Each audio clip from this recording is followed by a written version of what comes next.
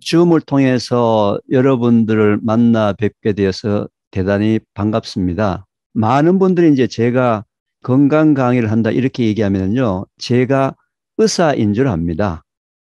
저는 의사가 아닙니다. 또 어떤 분들은 뭘 또 오해하시냐면요. 제가 무슨 뭐 특별한 비법이나 뭐 이런 그 비법을 알려주는 사람이라고 알고 있는데요. 특별한 비법도 없습니다. 근데 제가 이제 전달해 드리고자 하는 내용은 뭐냐면요. 사람들이 하나님께서 태초에 천지를 창조하시고 인간을 창조하시고 난 다음에 우리 인간들이 꼭 지켜야 될 기본이 있는데 이 기본을 바쁘다. 돈 많이 벌어야 되겠다. 성공해야 되겠다. 또는 요즘 뭐 우리 한국에 있는 아이들은 수능 점수 좋게 받아서 인류대학 들어가야 되겠다. 각자 나름대로는 합리적인 이유를 내세워서 꼭 지켜야 될 가장 기본적인 사항들을 지키지 않는다는 겁니다.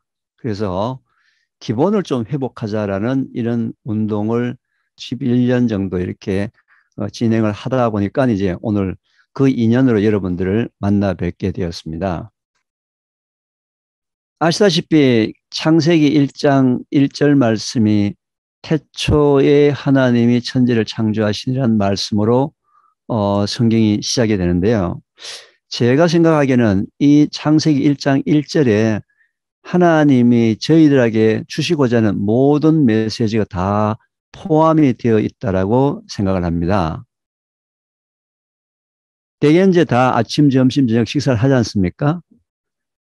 뭐 배가 고파서 먹었다. 뭐 살기 위해서 먹었다. 뭐 여러 가지 이유가 있지만 가장 정확한 대답은 하나님이 태초에 천지를 창조하시면서 우리 인간들에게 먹어라 라는 말씀을 주셨기 때문에 그 말씀에 순종했다는 겁니다. 순종. 그 말씀에 순종을 했다는 의미거든요. 그래서 우리가 보통 순종하게 되면은 이제 어, 영적으로 하나님의 말씀에 순종하는 방법에 대해서는 우리 선교사님을 비롯해서 모든 사람들이 너무 많이 알고 있고 훈련을 많이 하고 있거든요. 그런데 굉장히 소홀하거나, 소홀하거나 또는 전혀 모르시는 분들 내용이 뭐냐면은 육적으로도 하나님께서 우리 인간을 영혼 육으로 주셨는데 육적으로도 하나님의 말씀에 순종해야 되는 부분이 있다는 거예요. 그래서 이 하나님은 저희들에게 영육 간의 강건함을 원하시지 영적으로는 성령 충만하면서 육적으로 연약한 모습에서 헤매는 모습을 보시면 하나님께서 참 안타까워하신다. 그래서 저는 어, 여러분들한테 과학자로서 또는 하나님을 믿는 하나님의 자녀로서 성경 말씀 안에서 나오는 내용 중에서 육적으로 하나님 말씀에 순종한다는 자세가 무엇인지 라는 부분에 대해서 어, 조금 어, 같이 의견을 나누어 보려고 합니다. 이게 누군지 아세요? 김연아 선수입니다. 아, 이 피겨 스케이팅 하는 모습이 얼마나 참 아름답습니까? 그죠? 그런데 이렇게 아름다운 몸매를 갖고 있는 김연아 선수의 몸이나 또는 저희 인간들의 몸을 분석을 해보면은 뼈나 살 같은 단단한 고체는 토양, 흙 성분하고 화학적 성분이 동일합니다. 그리고 우리 인체에 있는 액체의 성분은 바닷물의 성분과 동일하다는 거예요. 이게 무슨 얘기냐면은 인간도 자연의 한 부분이다. 따라서 천지를 창조하신 하나님의 말씀에 순종해서 우리 인간의 몸을 다루어야 된다는 겁니다. 여러분 아시다시피 이 지구상에 존재하는 어떤 종류의 생물도 자연의 원리를 벗어나서는 그 생물이 존재할 수가 없거든요. 어떤 생물 하나도 말이죠. 그래서 하나님이 창조하신 목적대로 우리 몸을 잘 관리를 해야 되는데, 뭐 아시다시피 흙으로 빚으셔서 코에 생기를 불어넣어서 생명이 되게 하셨다 했기 때문에 인간을 흙집으로 하나님께서 표현을 하셨거든요. 흙집. 어, 흙집을 어, 지탱하고 있는 기둥이 털썩 무너지게 되면은 재료는 땅에 남고 영이 하나님에게로 간다. 이런 말씀이 있다시피 우리 인간의 이 모습은 흙으로 만든 집이다. 이렇게 생각하시면 됩니다. 그래서 사람은 죽으면 다 흙으로 다시 돌아가게 되어 있습니다. 그래서 반드시 인간은 흙으로부터 영양 성분을 공급받아야지만 살도록 되어 있는 그런 존재로 하나님께서 창조하셨기 때문에 흙 속에 있는 영양 성분을 섭취를 해야 되는데 아침에 일어나서도 흙 먹고 점심 때도 흙 먹고 저녁 때도 흙 먹는 모습이 굉장히 안타까워 하셔서 하나님께서는 이렇게 급히 셋째 날 식물을 창조하셨습니다. 식물이 하는 역할은 매우 단순합니다. 뿌리를 땅 속에 내리고 뿌리를 땅 속에 내리고 뿌리를 통해서 토양 속에 있는 인간한테 필요한 영양 성분들을 다 모아서 식물의 잎이나 줄기나 열매에 농축해서 전달하려고 이 식물이 이 세상에 존재를 하는 거거든요. 그래서 어 혹시 이제 먹지 않을까 싶어 가지고 이제 단맛도 넣고 색깔도 넣고 향도 넣고 해서 먹어라라고 이제 하나님께서 제자한테 주셨는데 문제는 이제 먹거리에서 여러 가지 문제점들이 이제 발생하기 시작을 합니다. 예를 들면 이렇습니다. 우리 지금 현재 어, 먹거리를 생산하고 있는 생산, 가공, 소비 이런 부분들이 하나님께서는 처음에 우리한테 영양 성분을 공급하는 먹거리를 주셨는데 불과 인류 역사상 한 200년 정도 전에 200년 정도 전에 약 1900년부터 시작해서 식품 산업이란 이름으로 대량 생산이 시작이 됩니다. 원래 1900년 이전에는 이제 뭐 농사를 짓는 사람은 농사 곡식을 많이 지어서 고기 잡는 어부하고 서로 바꿔먹는 물물교환 시대로 먹거리를 이제 해결했는데 사람들이 이제 정착을 하면서 한 지역에 정착을 하면서 인구가 증가하면서 자연스럽게 대량 생산이 필요했고 대량 생산에 따르다 보니까 이게 산업이라는 이름으로 우리 인간의 역사에 대량 생산으로 시작된 산업이 불과 200년 정도밖에 안 되었다는 거죠. 그런데 산업이라는 이름으로 식품이 생산되다 보니까 경제성 원리가 들어가기 시작합니다. 경제성은 뭐예요? 최소의 투자에 최대의 이익을 남기는 쪽으로 지금 현재 많은 먹거리들이 하나님이 원래 주신 먹거리보다는 전부 돈을 벌기 위한 수단으로 거의 대부분 다가 바뀌었다는 겁니다.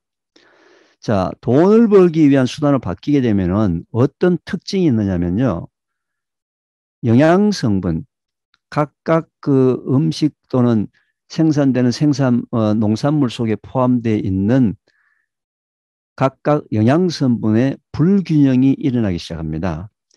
불균형이 일어나기 시작한다는 거죠. 예를 들면 이렇습니다.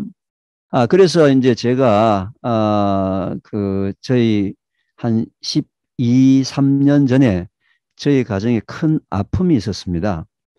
그 아픔을 겪는 과정 중에는 몰랐는데 그 아픔을 겪고 난 다음에 뒤를 돌아보니까 굉장히 많은 시행착오, 굉장히 많은 실수를 저질러서 아, 어, 저희 가정이 겪었던 그런 비극, 실수는 반복하지 않았으면 좋겠다는 차원에서 주위의 사람들을 보게 되니까 거의 대부분의 가정들이 저희 가정이 겪었던 시행착오를 반복을 하고 있더라고요. 그래서 아 이제 반복하지 않았으면 좋겠다는 차원에서 어 이제 이그그 사람들 대상으로 이제 무료로 강의를 시작하면서 저는 이걸 하나님이 저한테 주신 사역이다 해서 이제 사역을 지금 11년째 하고 있습니다. 이름하여서 이제 태초 먹거리란 이름으로 현재 사역을 하고 있는데요. 태초 먹거리란 그 사역의 기본적인 부분은 먹거리, 생활 습관, 환경, 환경 중에서도 육체적인 환경, 정신적인 환경이 있는데 이런 부분들을 원래 하나님이 창조하신 태초의 모습을 좀 돌아가 보자. 그 중에 특별히 이제 먹거리는 지난 200년 동안에 사람들이 돈을 벌기 위해서 먹거리를 어떻게 변화시켰는지, 어떻게 바꿨는지는 제가 과학자이기 때문에 정확하게 알고 있다는 거죠. 그래서 제가 그 바뀐 먹거리 중에서 하나님의 창조의 원리에 어긋나는 것들이 무엇인지를 제가 알려드릴 테니까 최소한 도 그런 것들을 우리 주위에서 하나씩 하나씩 좀 빼가 보자. 수정을 해보자. 그렇게 되면은 점점, 점점, 점점 원래 하나님이 주신 먹거리 쪽으로 가까이 가지 않겠느냐. 비록 지금 제가 하고 있는 이 태초 먹거리가 완전하지는 않습니다. 아직. 모든 걸다 아, 전달할 수는 없어요. 그렇지만 아직 부족한 부분이 많지만 누군가는 시작을 해야 되지 않을까라는 부분 때문에 현재 시작을 현재 하고 있는 중입니다. 예를 들면 이제 여러분 아시다시피 이 로고 마크 많이 보셨죠? 애플의 로고 마크입니다. 이 세상에서 가장 비싼 사과입니다. 영국 속담에 하루에 사과 한 개 먹으면 의사가 필요 없다 할 정도로 사과를 매우 영양 성분이 풍부한 과일로 하나님께서 주셨는데 미국 농무성입니다. 미국 농무성 데이터 97년도에 발표한 데이터를 보면요. 1914년대에 우리 할아버지가 드셨던 사과 한 개 속에 포함되어 있는 영양 성분하고 1992년, 지금부터 20년 전입니다. 20년 전에 사과 한 개 포함 속에 들어있는 영양성분을 분석해 보니까요. 매년 영양 성분이 줄어 들어가고 있습니다. 그런데 특히 철분 같은 경우에는 철분 같은 경우에는 1914년 100년 전에 할아버지가 드셨던 사과 한 개 속에 포함되어 있는 철분을 지금 내가 흡수하려면 현재는 사과를 40개를 먹어야 한다는 거예요. 그러면 100년 동안에 도대체 사과나무에게 무슨 일이 벌어졌느냐? 사과나무가 자라고 있는 토양이 변했고요. 두 번째, 지금까지 지난 100년 동안에 사과를 생산하고 있는 모든 과학자들과 농민들이 사과의 당도를 높이는 쪽에 품종만 개량을 하고 있습니다. 여기 지금 오늘 들어오신 분들은 연세가 되신 분들은 홍옥이라는 사과가 뭔지 아시죠? 홍옥. 예, 맛이 어떻습니까? 새콤 달콤. 벌써 홍옥 맛을 아시는 분은 벌써 혀 밑에 지금 침이 살짝 돌아, 돌 정도로 그 새콤 달콤한데 새콤 달콤한 그 새콤이라는 얘기는 말릭 애시드 사과산이 풍부해서 그 새콤달콤한 그 작은 홍옥 하나가 지금 현재 우리가 먹는 그 큰 부사 같은 후지 같은 그런 그 값비싼 사과보다도 영양 성분이 4배나 5배가 더 좋은데도 불구하고 신맛을 싫어하고 단맛을 좋아하는 사람들의 요것 때문에 홍옥나무의 묘목은 다 패내버리고 단맛만 나는 단맛만 나는 사과나무만 계속 심어 나가고 있다는 거죠. 결국 우리가 어, 성경에서 에덴 동산 창세기에서 선악과 얘기를 하지만서도 말이죠. 그 선악과가 지금도 존재를 합니다. 어떻게 해요? 지금 현재 모든 소비자가 원하는 거의 대부분의 음식은 보암직, 먹음직 한 곳에 다 초점이 맞춰져 있습니다. 모든 음식이에요. 상업용 음식은. 왜요? 일단 팔려야 되기 때문에. 일단 팔려야 되기 때문에. 창세기에 선악과는 성경 속에 나오는 그냥 선악과가 아니고 지금 현재도 우리가 너무나 많은 선악과가 우리 주위에 있다라는 이 보존의식도 좀 있어야 된다. 물론 이 문제를 아까 제가 처음에 말씀드렸다시피 한순간에 해결할 방법은 없습니다. 그렇지만 점점 점점 얼마든지 해결할 수 있는 방법들이 많이 있기 때문에 그런 부분들에 대해서 하나님께서 저한테 어, 소명을 주셨다라고 생각을 합니다. 어, 여러분들 어떤 화장실에 들어갔는데요. 지금 뭐 걸레질하고 난리가 났습니다. 물론 화장실에 물이 넘치는 증상이 발견되게 되면 바로 걸레질을 하는 치료를 하셔야 돼요. 왜? 하지 않으면 물이 옆방으로 넘쳐나서 옆방이 엉망이 되기 때문에 그렇습니다. 근데 문제는 이 증상에는 원인이 있다는 거예요. 물이 넘치는 원인이 뭡니까? 수도 꼭지가 고장이 났는데, 고장이 났는데, 지금 현재는 전부 다 증상을 치료하는 비법과 특효약에게만 관심을 갖고 있습니다.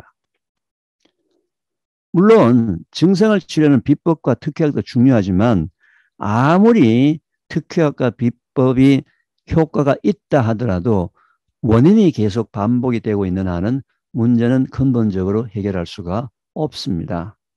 따라서 어떤 증상이 나타나게 되면 적절한 치료도 중요하지만서도 반드시 원인 제거도 매우 중요하다라는 사실입니다. 그리고 인체에 하나님께서 주시는 그 외부의 어떤 유해되는 물질이 들어왔을 때 싸워서 이길 수 있는 면역력을 저희들한테 주셨는데 하나님이 주신 면역력을 유지만 한다면요.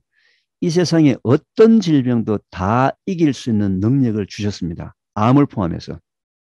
모든 걸 포함해서. 이미 이건 과학적으로 다 증명이 된 거거든요. 이건 이제 노벨 의학상을 받은 사람이 이미 다 밝힌 사실이에요. 예를 들면 이렇습니다. 건강한 사람, 매우 건강한 사람의 몸에도 매일매일 수십만 개, 수백만 개의 암세포가 만들어집니다. 왜요? 입, 코로 들어오는 음식, 공기, 물 중에서 발암 인자를 피해서 살 수 있는 방법이 없습니다. 예를 들면 미세먼지, 이미 미세먼지에는 발암 물질이 묻어 있어요.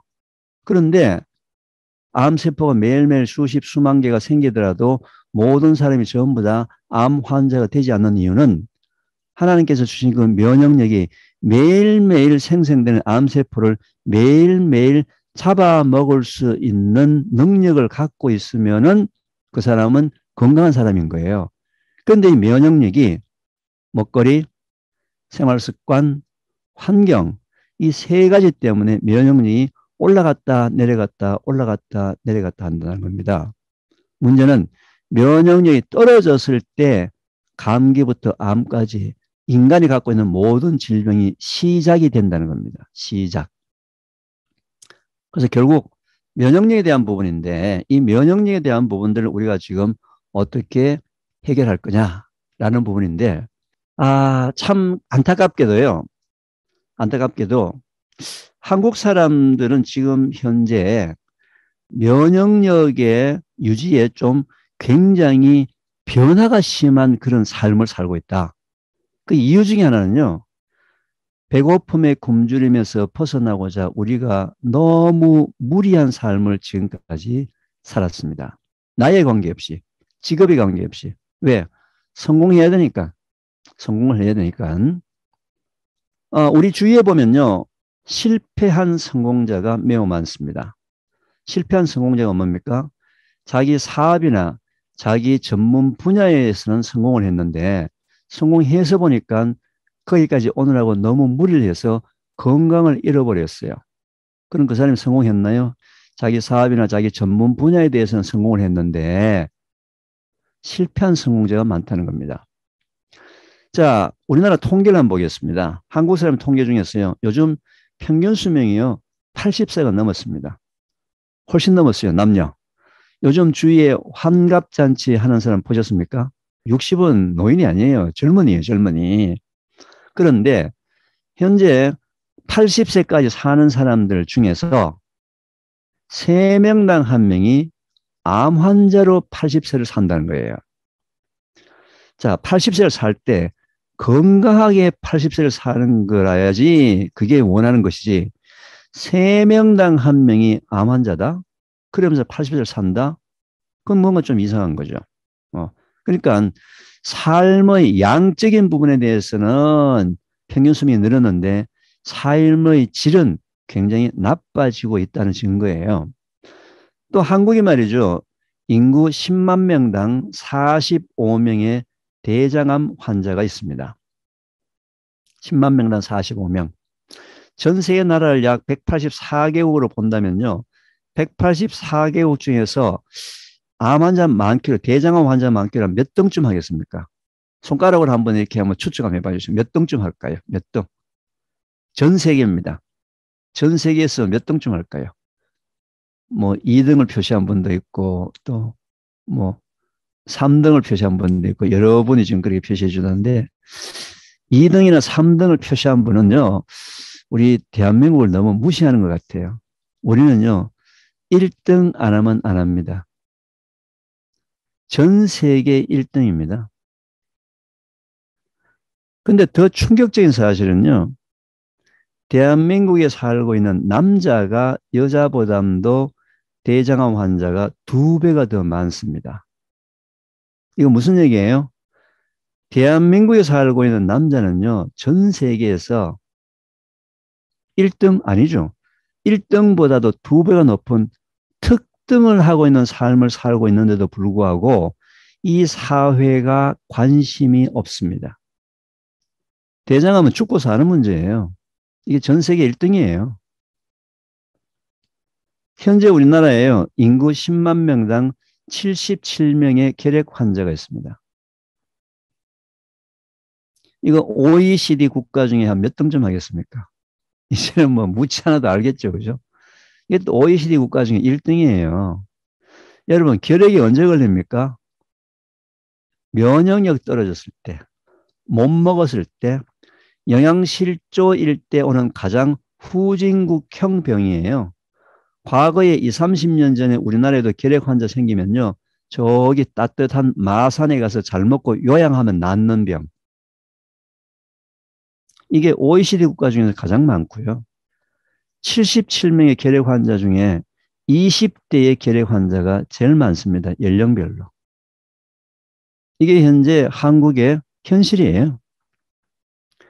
제, 제가 더 가슴 아파하는 건요. 우리나라에요. 40세 이하의 유방암 환자 숫자가 너무너무 많다는 거예요.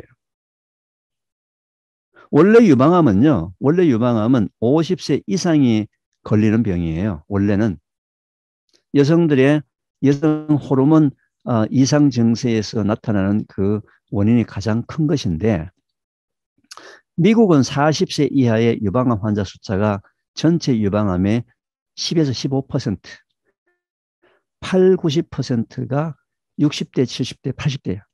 그런데 대한민국은 40세 이하의 유방암 환자 숫자가 50%입니다. 50%.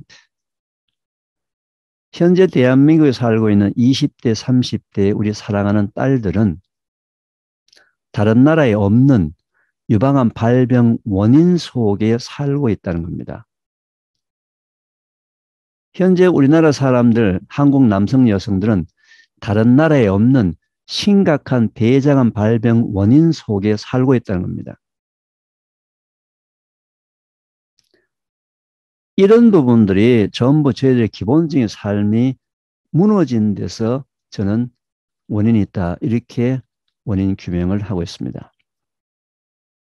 우리나라 어, 산에서 제일 많은 나무의 종류가 뭔지 아십니까? 나무. 우리나라 산에 제일 많은 나무. 소나무. 소나무. 그죠? 왜 소나무가 제일 많습니까? 식목일 때마다 열심히 심었지 않습니까? 그죠? 식목일 때마다 너무 열심히 심었어요. 그리고 어, 젓가락 들고 송충이 잡으러 얼마나 많이 다녔습니까? 어, 송충이 잡으러 참 많이 다녔어요. 그래서 산에 소나무가 그렇게 많습니다. 소나무 다음으로 많은 나무가 뭔지 아세요? 소나무 다음으로 산에 아카시아요? 아니 아카시아는 집 주위에 많습니다. 첩첩 산 중에 별로 없어요. 산 중에 제일 많은 나무, 소나무 다음으로 나는 나무가 뭐냐면 참나무입니다. 참나무. 숯 만드는 나무, 숯, 숯. 숯 만드는 나무. 참나무가 또 무슨 나무죠? 떡갈나무 또는 도토리나무, 도토리나무. 묵 만들어 먹는 도토리 열리는 거 있죠? 그 도토리나무. 아니, 이상하지 않습니까? 사람들이 식목일 때 많이 심어서 소나무가 많은 건 좋은데, 아니, 아무도 심지 않은 도토리 나무가 왜 그렇게 많을까요? 참 이 도토리 나무를 보게 되면 참 신기합니다. 왜냐면요, 만약 그 해에 논밭에 흉년이 들게 되면은 동물들이 굶어 죽을까 싶어서 도토리가 많이 열립니다. 논밭에 풍년이 되면요, 벼 이삭에서 나는 냄새를 맡고요, 도토리가 작게 열립니다. 식물들은 서로 냄새를 가지고 서로 대화를 하고 있거든요. 자, 가을에 이제 도토리가 열리게 되면요. 다람쥐들이 이 도토리를 겨울에 양식을 먹으려고 이제 열심히 모아서 자기만 아는 장소에다가 몰래 숨깁니다. 몰래 숨기는데 이 다람쥐가 욕심이 너무 많아요. 보통 도토리를 주워가지고 손에 들고 옮기게 되면 딱 두 개밖에 못 가져가겠죠. 한꺼번에 양쪽 손에 들고 간다 하더라도 그죠? 다람쥐가 도토리를 어디다 넣어서 옮기는지 아세요? 어디에 넣어서 도토리를 옮기는지 아세요? 네. 볼에다 넣습니다. 볼. 볼대기에 넣습니다. 볼대기에 넣어가지고요. 지금 보십시오. 볼대가 지금 완전히 막 터지듯이 보통 한쪽 볼대기에 보통 4개 내지 5개 들어갑니다. 양쪽 볼대기에 8개 내지 10개 정도 넣어가지고서는 자기만 아는 장소에 가서 몰래 숨겨놓는 거예요. 그런데, 그런데 하나님이 있잖아요. 이 지구상에 살고 있는 모든 다람쥐들은 다 멍청하게 만들어 놨어요. 머리가 나쁘게 만들어 놨어요. 그래가지고 얘네들이 10개를 숨기면요. 최대 5개밖에 못 찾아 먹어요. 못 찾아 먹었던 그 5개 도토리에서 싹이 나서 아무도 심지도 않는 그 첩첩산 중에 전 세계적으로 떡갈나무가 제일 많은 거예요. 그래서 산이 푸르르고 산에 나무가 있는 거예요. 그런데 만약에, 만약에 이 다람쥐가 머리가 너무 좋아요. 그래가지고 자기가 10개 숨긴 거 다 찾아 먹었어. 그리고 또 머리가 너무 좋아가지고 옆에 다람쥐가 숨기는 거 눈짓으로 다 봐놨다가 혼자서 20개, 30개를 다 찾아 먹어버리게 되면요. 전 세계 산에 나무가 한 그루도 없습니다. 인간이 심지 않는 한은. 이 세상에, 이 세상에 꼴찌가 존재해야 될 이유를 하나님께서 분명히 두셨다는 거예요. 그런데 특히 우리나라는 꼴찌를 인정해 주지 않습니다. 왜요? 이 배고픔의 굶주림 때문에 목표를 달성했는 사람을 성공한 사람으로 보거든요. 그래서 지금까지 우리가 수단과 방법을 가리지 않고 목표만 달성한 사람을 우리가 성공한 사람이라고 인정을 해줬어요. 그런데 하나님은 목표가 중요한 것이 아니라 과정이 더 중요하다는 거예요. 과정. 이 꼴찌다람쥐가요, 꼴찌다람쥐가 도토리를 숨길 때 보면은 굉장히 자세가 진지합니다. 어떻게 해요? 그 못 찾아 먹었던 도토리가 있잖아요. 이 다람쥐가 게을러 빠져가지고 도토리를 숨길 때 있잖아요. 게을러 빠져가지고 낙엽 위에 적당한데 막 이렇게 숨기기 쉬운데 막 숨겨놔버리면요. 못 찾아 먹은 도토리는 다 썩어버려요. 이 도토리가 싹이 달리면 반드시 흙하고 붙어 있어야 됩니다. 흙. 흙하고 붙어 있어야지만 도토리가 싸게 트거든요. 이 짧은 앞발을 갖고 있는 이 다람쥐가 도토리를 숨길 때 보게 되면 낙엽 하나하나를 드러내서 저기 밑에 땅에 닿는 데까지 그 깊숙한 데까지 꾹꾹 집어넣는 최선을 다하는 과정이 있었기 때문에 찾아 먹지 못했던 도토리에서 싹이 나서 아무도 심지 않았던 아무도 심지 않았던 그 산골에 전 세계에 떡갈나무가 가장 많고 그걸로 인해서 이 지구가 유지가 되고 있는 거거든요. 그래서 지금까지 저희들은 삶은 말이죠. 배고픔에서, 배고픔의 굶주림에서 벗어나기 위해서 목표 지향적인 삶을 살았다는 거죠. 그렇지만 하나님께서는 목표 지향적인 삶도 중요하지만 더 중요한 것은 과정 지향적인 삶을 살면서 하나님께 목표를 맡기는 저희들의 삶의 목표도 좀 바뀌어야 될 것 같고요. 또는 심지어는 저는 잘 모르겠습니다만은 선교나 전도에 있어서도 목표도 중요하지만 그 과정도 중요하다라고 저는 개인적으로 생각을 합니다. 자, 그러면은 이제 결론적으로 어, 최고의 삶이 필요한 것이 아니고 최선의 삶을 사는 것이 가장 필요한 것인데 그러면 이제 면역력을 어떻게 유지를 해야 되느냐 하는 게 원래 회복해야 되냐. 보통 면역력 하게 되면 벌써 여러분들 아 그거 뭐 인삼 먹으면 된다던데요. 뭐부터 시작해서 건강 기능성 식품을 머리에 쫙 올리기 시작합니다. 그걸로는 해결 안 됩니다. 왜냐하면 그건 일시적이에요. 먹거리, 생활 습관, 환경 이 세 가지를 가지고 평소의 삶을 통해서 하나님께서 원래 주신 원래 주신 그 창조의 목적대로 기본을 회복하는 삶을 회복하고 계속 유지하는 삶을 살아야 된다라는 부분입니다. 그래서 어 제가 그러면은 이제 좀 앞부분 이제 과정을 저 배경을 설명하느라고 조금 길었는데요. 오늘은 그러면 가장 간단하게 그 면역의 회복에 가장 중요한 물에 대한 내용만 먼저 오늘 강의를 드리고 그다음 다음번에 이제 어 물 이외 플러스해서 장 건강이라든지 여러 가지 스트레스라든지 뭐 이런 부분들에 대해서 다음번에 이어서 강의를 하도록 하겠습니다. 결국 면역력은 말이죠. 면역력이라는 얘기가 나오게 되면 장 건강과 떨어질래야 떨어질 수가 없습니다. 왜냐하면은 면역 세포의 70 내지 80%가 장에 존재하기 때문에 그렇습니다. 장 건강에 가장 중요한 것이 장 속에 존재하는 미생물의 상태입니다. 그리고 장의 건강은 결국 미생물이 어, 미생물에 따라서 이제 상태에 따라서 좌지우지가 되는데요. 내가 면역력이 좋은지 안 좋은지 또는 내가 아, 장 건강이 좋은지 안 좋은지는 구체적으로 뭐 병원에 가서 테스트도 할 수 있겠습니다만은 본인이 스스로 할 수 있는 방법은 가장 대표적인 것은 일단 첫 번째, 변비나 설사가 너무 심하다. 두 번째, 자기의 변 냄새나 방귀 냄새가 너무 지독하게 나쁜 냄새가 오래 간다. 장 건강이 나쁜 가장 큰 징후입니다. 자, 그래서 장 건강을 좋게 하는데 여러 가지 방법이 있습니다만은 첫 번째 저는 물을 먼저 추천하겠습니다. 여러분들은 하루에 물을 몇 리터 정도 먹는, 먹고 계세요? 손가락 으로 한번 표시해 보세요. 하루에 물을 몇 리터 정도 드세요, 드시고 계시죠? 몇 리터 먹는 게 가장 좋다고 알고 계세요? 그러면 1리터, 2리터? 예. 다들 뭐 2리터 뭐 이렇게 표시를 하는데, 어, 그 2리터라고 얘기하신 분은요, 하루에 물을 2리터 먹기 때문에 건강이 매우 나빠지고 있습니다. 어, 왜 이러냐면요, 어, 무슨 얘기냐면 이런 얘기입니다. 물은 많이 먹어도 작게 먹어도 안 됩니다. 내 몸에서 빠져나가는 양만큼만 정확하게 먹어야 됩니다. 그런데 물은 물로만 우리 몸속으로 들어오는 게 아니고요. 음식을 통해서도 우리 몸속으로 물이 들어옵니다. 채소나 과일의 90%가 물이에요.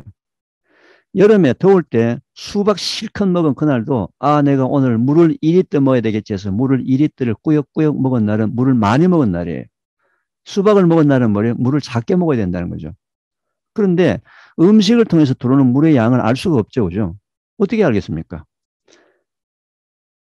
하루 종일 우리 몸속으로 들어오는 전체 물량을 측정할 방법도 없고요. 하루 종일 우리 몸속에서 빠져나가는 물량을 측정할 방법도 없어요. 근데 하나님께서는 정확하게 빠져나가는 양만큼만 정확하게 먹는 방법을 알려주셨습니다. 어떻게 해요? 여러분이 화장실에 가서 소변을 봤는데 소변 색깔이 노랗게 짙게 나왔다. 뭐예요? 내 몸속에서 물이 부족하다는 증거다. 그죠? 따라서 그때는 빨리 물을 마시게 되면 약 10분 내지 15분 뒤에 소변 색깔이 옅은 노란색으로 바뀐다는 거죠. 색깔이 짙을 때는 마시라 이거죠. 그런데 비타민 B나 종합 비타민을 드시게 되면은 소변 색깔이 노랗게 나오는데 그 노란색은 매우 밝은 노란색입니다. 물이 부족한 노란색은 누런 노란색이라서 금방 표시가 나요. 그러면은 물을 많이 먹으면 어떻게 되느냐? 평소에 물을 너무 많이 먹어도 좋지 않습니다. 물을 많이 먹었어요. 사망한 케이스가 너무 많습니다. 무식하게요. 무식하게 미국에 미국 같은 데서도요 물먹기 시합을 하는 그런 시합이 있었습니다. 물먹기 시합하다가 사망한 케이스가 많고요. 마라톤 하다가 물 과다 섭취로 사망한 경우도 많은데 그 이유는 우리 혈액 속에 나트륨과 칼륨이라는 두 개의 미네랄이 있는데 이 두 개의 미네랄, 미네랄은 전기를 발생하거든요. 갑자기 물량이 너무 많이 들어오면서 전기 발생이 작아지게 되면요. 평소다, 평소보다는 힘이 없어집니다. 물을 많이 먹는 사람은 힘이 없어지기 시작하고 이게 더 심하게 되면은 뇌나 심장에 전기 공급이 적게 돼서 거의 대개 다 심장마비로 사망하는 저나트륨 혈증이라는 증상으로 사망을 하거든요. 내가 물을 많이 먹는지 어떻게 안다? 소변 색깔이요. 노란색이 사라지고 투명한 색깔이 되게 되면 아, 내가 물을 너무 많이 먹었구나 라고 해서 물을 줄여야만 합니다. 그래서 소변 색깔을 보고 소변 색깔을 보고 짙으면 마시고 옅으면 안 마시는 습관을 가지고 진행하게 되면 그게 하루에 약 1.5리터에서 한 2리터, 2.5리터에 빠져나가는 양에 따라서 그게 컨트롤이 된다는 겁니다. 평소에 물을 안 드시다가 오늘 제 강의를 듣고 물을 먹기 시작하시게 되면요. 꼭 조심하실 것이 소금을 많이 먹지 말라고 얘기하셨습니까? 그 이유는 한국 사람들이 먹는 전통 음식, 찌개나 김치나 된장, 고추장들이 소금이 많은 고염식을 먹기 때문에 소금을 작게 먹어라, 저염식을 하라 그러는데요. 평소에 저염식이나 무염식을 하신 분이 물을 먹기 시작하게 되면 아까 같이 저나트륨 혈증 증상이 나타날 수 있습니다.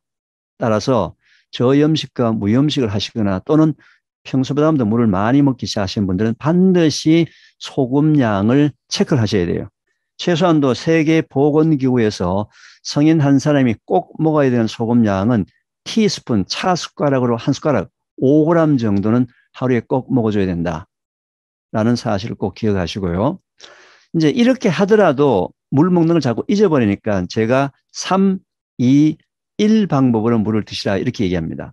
3은요, 식사 30분 전 한 컵. 식사 30분 전 한 컵입니다. 2는 식사 2시간 뒤 한 컵. 1은 취침 1시간 전 한 컵. 이렇게 하게 되면요. 하루에 약 7컵 내지 8컵입니다. 왜냐하면 하루 3끼 드시니까 식사 전후에 한 컵씩 먹으면 6컵. 저녁에 자기 전에 한 컵, 아침에 일찍 일어나시면 한 컵, 7컵 내지 8컵을 시간을 정해놓고 한번 드셔보시기 바랍니다. 시간을 정해놓고요. 드셔보시기 바라고요. 어, 오늘은 시간이 많이 됐기 때문에 시간이 지났기 때문에 정수기라든지 어떤 종류의 물을 마셔야 되는지 또는 뭐 옥수수물이나 결명차나 뭐 녹차나 커피로 대용할 수 없는지 이런 부분들에 대해서는 다음 시간에 이어서 말씀을 드리도록 하고요. 오늘 지금까지 강의한 내용 중에서 혹시 질문이 있으신 분들은 질문을 해 주시면 제가 대답을 해 드리겠습니다.